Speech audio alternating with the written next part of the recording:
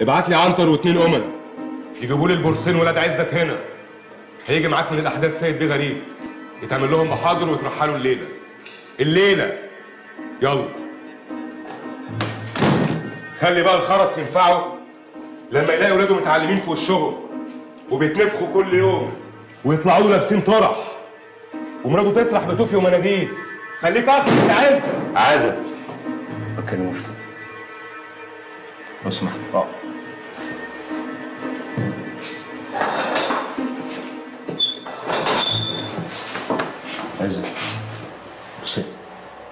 بصي يا عزت سامعني؟ شوف يا عزت أنا عارف إنك اخرس تمام؟ ومصدقك ومش شاكك فيك. بس الطريقة دي أنا ما بحبهاش مش أسلوبي. أنا ما بحبش حد يكلم حد كده ابدا. ما ارضاش على نفسي. بص لي هنا وأنا بكلمك. أنا عارف إنك سامع. مفيش راجل يعيط. ما تعيطش. أخرس أخرس براحتك. أنا عايز أطلعك من هنا. أنا هسيب لك ورقه واللي يطلع من هنا انت اكتبه اللي يريحك انت. مش اللي يريحه هو ولا هو ولا اي حد بره. سيادة العميد ممكن القلم لو سمحت؟ هتجيبها إزاي؟ تكتبها إزاي؟ ترجع لك. بص يا حبيبي ركز معايا عشان هقوله لك ده مش عارف اقوله لك تاني.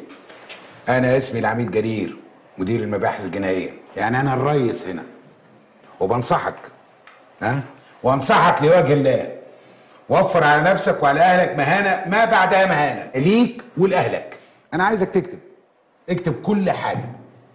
أنا اوعدك إن هخليهم يساعدوك ويقفوا جنبك. بس تكتب كل حاجة دلوقتي. مش بعدين أحسن بعدين. مفيش جنس مخلوق هيقدر يساعدك. مفهوم؟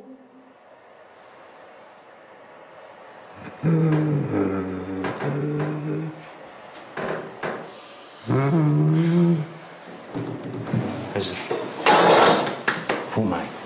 فوق. شوف عزت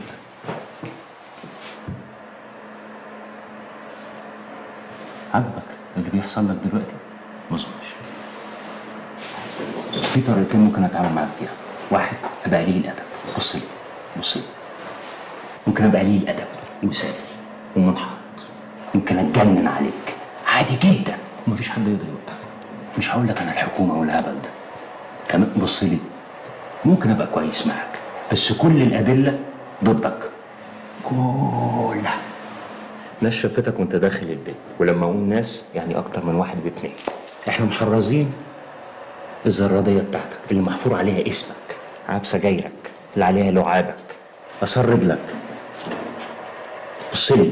الشيكرتون الرمادي. الأسلاك اللي انت سبتها سميها زي ما تسميها مش فارق معايا. كل دي عليها بصماتك.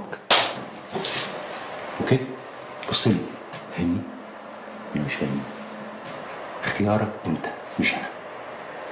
بس.